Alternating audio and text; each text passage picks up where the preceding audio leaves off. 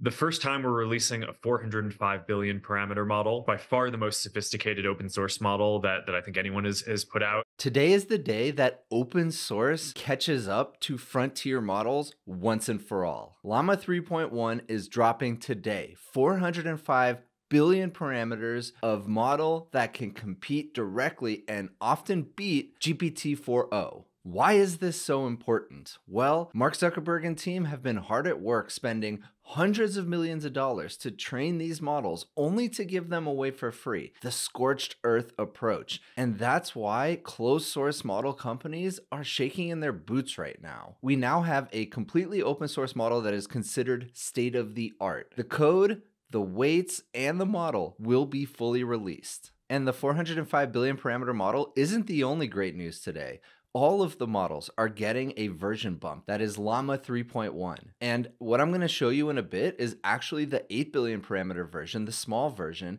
got a huge quality increase. And it's almost flown under the radar because everybody wants to know about the large model. But I think the smaller models might actually be just as impactful. And if you've been watching my recent videos, you know that I'm incredibly confident in models and AI compute in general being pushed to edge devices. So the better these small models get, the quicker that that will happen. So in this video, I'm to tell you all about it. So here it is, headline, Llama 3.1, our most capable models to date. Our latest models expand context length to 128K, and that is up from, I believe, 8K. So a huge increase natively. Now I already talked to the Gradient AI team who was able able to expand that context window to a million tokens and still keep the quality really high. But now natively, we have a 128K context window, plus support across eight languages and Llama 3.1 405B, the industry leading open source foundation model.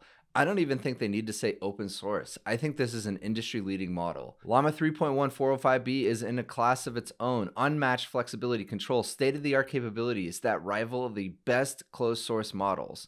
Our new model will enable the community to unlock new workflows such as synthetic data generation and model distillation. This is incredibly important. NVIDIA just a few weeks ago released Nemotron, which was a massive model that was created for the same thing. These massive models can then train smaller models to be much better and it does so by creating synthetic data, fake data. And so think about it like this a company that doesn't necessarily have billions of dollars or the resources of an open AI can actually generate its own data rather than trying to compete in the deals to acquire data like OpenAI is doing. And that's important because everybody has access to the same open web data. And so for a model to really stand out, it needs its own unique data. And now we have two strong models, Nemotron and now 405B that can create synthetic data to train smaller models. But that's not all it does, of course, but that is an interesting facet. And apparently, a big part of this announcement is the fact that they are turning Llama into an ecosystem, not just one off models that are being released. And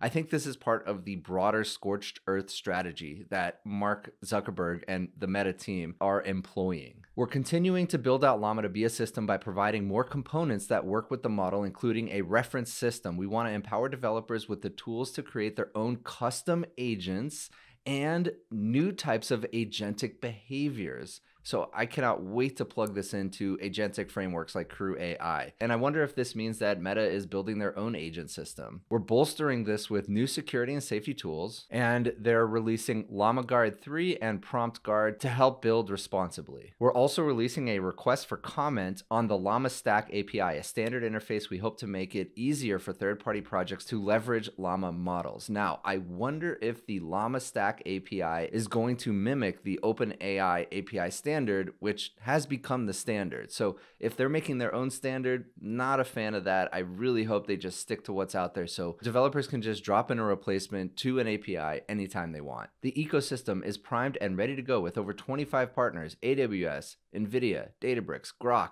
Dell, Azure, Google Cloud on day one. Groq, yes, I cannot wait to try this massive model on the fastest inference speeds I've seen. So you can try Llama 3.1 405B in the US on WhatsApp and Meta.ai. This is where I will be testing it by asking a challenging math or coding question. Now, in this video, I'm not going to run it through my LLM rubric, but I am going to make another video just for that. So stay tuned for that. All right, so now let's read about Llama 3.1 the first openly available model that rivals the top models in AI when it comes to state of the art capabilities in general knowledge, steerability, math tool use, and multilingual translation.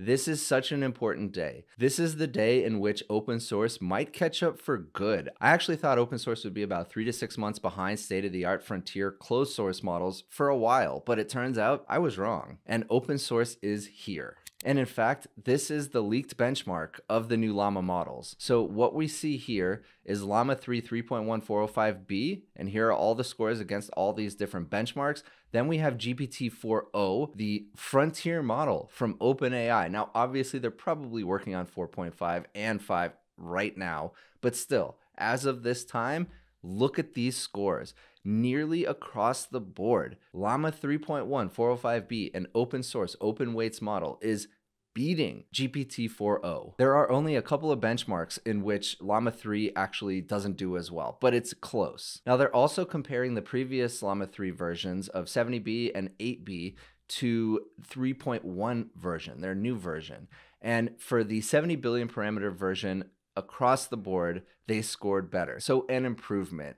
Not a massive improvement, but still an improvement nonetheless. Now, here's where it gets exciting the small model. Here is Llama 3 8B on this column, and here is 3.1. Now, if you're looking at this, you should be blown away. It is a substantial improvement with 3.1 over 3. Look at these scores. Some of them are massive. So here's Hella Swag. It goes from 0.46 to 0.67. On human eval, one of the most important benchmarks, 0.34 to 0.68. That is double. They literally doubled their human eval score and so on. And you can see just across the board, a massive improvement. Now, Meta Llama 3.18b is the one that you will be running locally on your computer. So the fact that this had such a massive improvement, I'm super excited about. Now, think about this. You can run this on your computer essentially free. And then just yesterday, I released a tutorial about Route LLM. So, if you're a developer or if you're just wanting to set up a really powerful local AI system, you can plug this into Route LLM, have it answer essentially 95 to 98% of all of your prompts,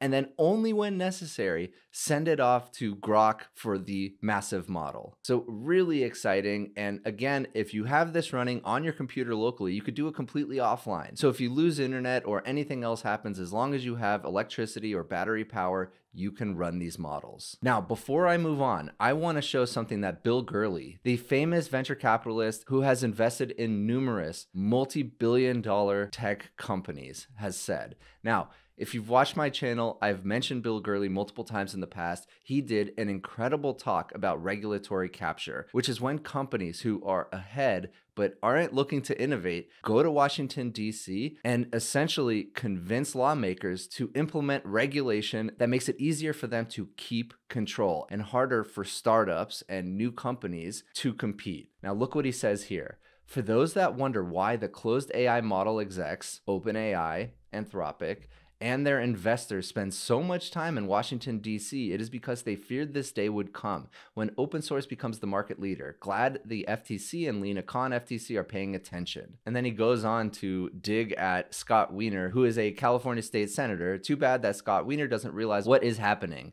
He is a shill for big business and doesn't know it, working to make California more bureaucratic, less innovative, and less competitive. Okay, enough of the politics. I've had enough of that this week. Let's get back to Llama 3.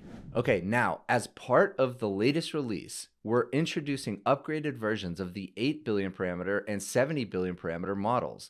These are multilingual and have significantly longer context length of 128K, state of the art tool use, which, by the way, Groq just released really powerful tool use models, better than actually anything on the market, including closed source on Groq. But I think now they're actually going to have to do that again with 3.1 and overall stronger reasoning capabilities. This enables our latest models to support advanced use cases such as long form text summarization, multilingual conversational agents, and coding assistance, one that I'm especially excited for. We've also made changes to our license, allowing developers to use the outputs from Llama models, including 405b, to improve other models. I mean, I am so happy with what Meta is doing. And if you were to ask me even two years ago if I would have this attitude towards Meta, I would have never guessed it. True to our commitment to open source, starting today, we're making these models available for the community to download on llama.meta.com and available for immediate development on our broad ecosystem of partner platforms. And they evaluated performance on 150 benchmark data sets that span a wide range of languages, and we found that our flagship model is competitive with leading foundation models across a range of tasks, including GPT-4, 4o, and Claude 3.5 Sonnet, the current best model that I've ever used, Claude 3.5 Sonnet. Additionally, our smaller models are competitive with closed and open source models that have a similar number of parameters. So, Llama 3.1 405b was trained on over 15 trillion tokens, and they trained it on, listen to this, 16,000 H100 GPUs,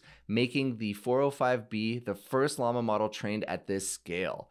So there are only a handful of companies that could have pulled this off, and apparently there's only one who is going to release it for free, and that's Meta. So I am just so so pleased with what Meta is doing. And I think we just have to give a little bit of credit to Mark Zuckerberg and his newfound effort attitude. So, to support large scale production inference for a model at the scale of 405B, by the way, we're not going to be able to run this locally, most likely. Even if they completely quantize it, I just don't think it's going to be able to run locally. And even though I have 96 gigabytes of VRAM, I don't think I'm going to be able to run it, but you know I'm going to try. We quantize our models from 16 bit to 8 bit, effectively lowering the compute requirements needed and allowing the model to run within a single server node. In post training, we produce final chat models by doing several rounds of alignment on top of the pre trained model.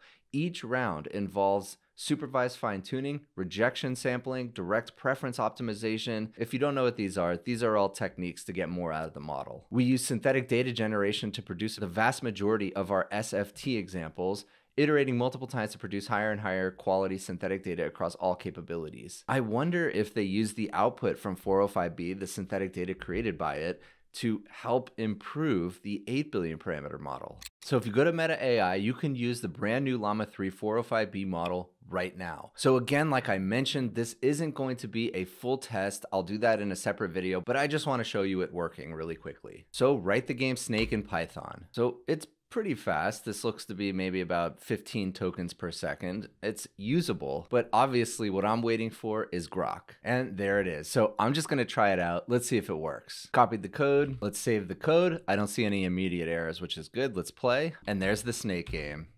There it is. First go, Llama 3.1 405B, and it seems to work perfectly. Yep, awesome. Let's see if we can go through the wall. And it restarts. Okay.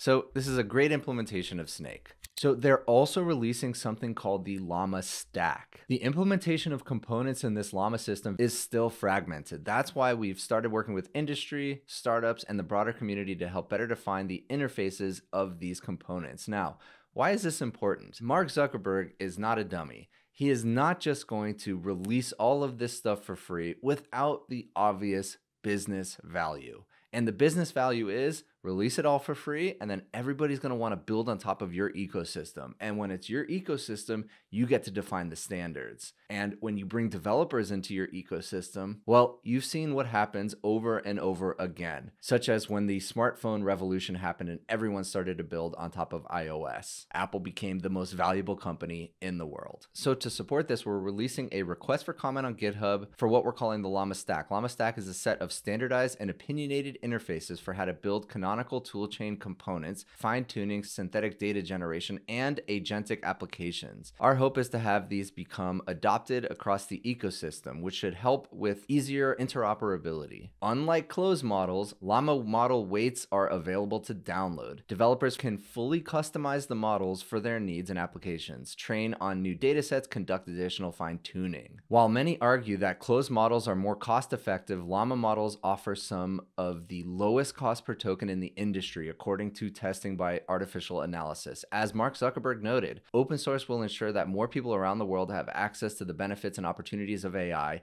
that power isn't concentrated in the hands of a small few, and that the technology can be deployed more evenly and safely across society. So, no matter what their true motives are, I'm very happy that they're releasing all of this open source. So, it seems like the Llama stack or the Llama ecosystem is now going to include real time and batch inference, supervised fine tuning, evaluations, continual pre training, RAG, function calling, and synthetic data generation. They've worked with VLLM, TensorRT, and PyTorch to build support from day one to ensure the community is ready for production deployment.